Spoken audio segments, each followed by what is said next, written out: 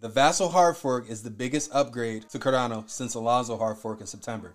This latest upgrade is set to introduce four network improvements dubbed as CIP 31, CIP 32, 33, and 40. I'm not really blown away. I'm not really taken aback by this is, you know, this is happening because they've been doing this on their roadmap for years.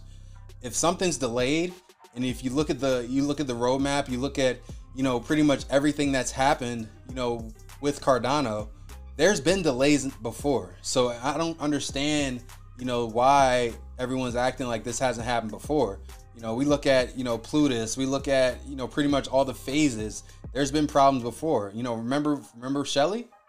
There's been problems before and you know, there's been t- times where, you know, they're not exactly where they want to be, which is fine. Right? So I'm not taken aback by that. But I am taken aback by is the fact that Charles Hoskinson was grinding up Vitalik Buterin on delaying the ETH merge. And you know, mind you, they don't want to make that mistake again. If you guys remember back, uh, I think it was 2017 with that whole debacle with Ethereum, which is how we got Ethereum Classic, almost like a Terra Luna situation, minus the price, where you know they got hacked and they pretty much restored all the Ethereum. You know, they don't want to go through that again. So, you know, I understand why they keep pushing it back because they're trying to steer a ship and they do not want to go through that again. That could that could honestly impact the market so drastically that uh yeah, that would that would be terrible. That would be terrible. So I'm okay. You know, the ETH merge.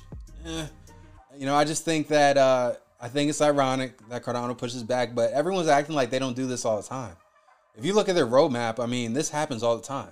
This isn't anything new, uh, but I I respect it because they've been consistent they've been consistent with everything. They've been consistent with with their updates and when they update and what that looks like. So um, I'm not I'm not taken aback by that. Cardano's currently sitting at 46 cents, one of the most undervalued altcoins on the market.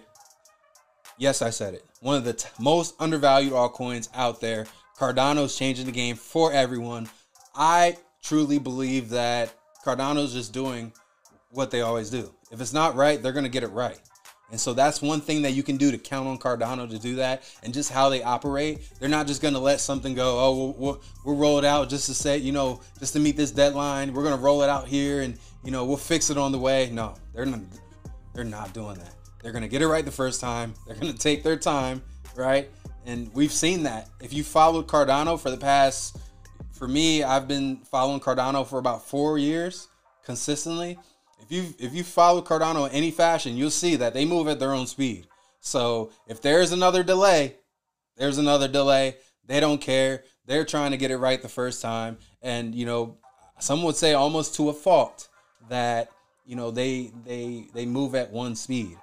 But from everything that I've seen with the article and everyone making a big fuss about it, uh, this is this is normal. This is normal. This is what they do. They get it right the first time. It's this.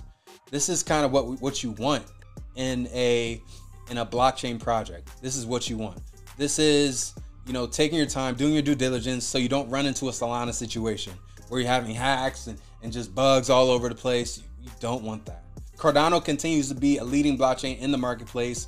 Uh, I'm not blown away by this. I actually uh, think this is pretty much standard with Cardano. They never did anything as massive as this Vasil hard fork, but at the same time, if you follow back in their roadmap, you know delays happen. They they're pretty transparent about what's happening, what's going on. Uh, kind of different from Ethereum, where you just don't know what's going on or why it's delayed. They just say it's delayed. So a little bit more transparency on Cardano, which is another reason to appreciate this project. We love Cardano here. We'll continue to talk about Cardano all the time because it is the top blockchain project out there right now. So take a good look at this. Uh, hope you guys got some value out of this video. Keep moving forward in everything that you do, and we'll see you soon.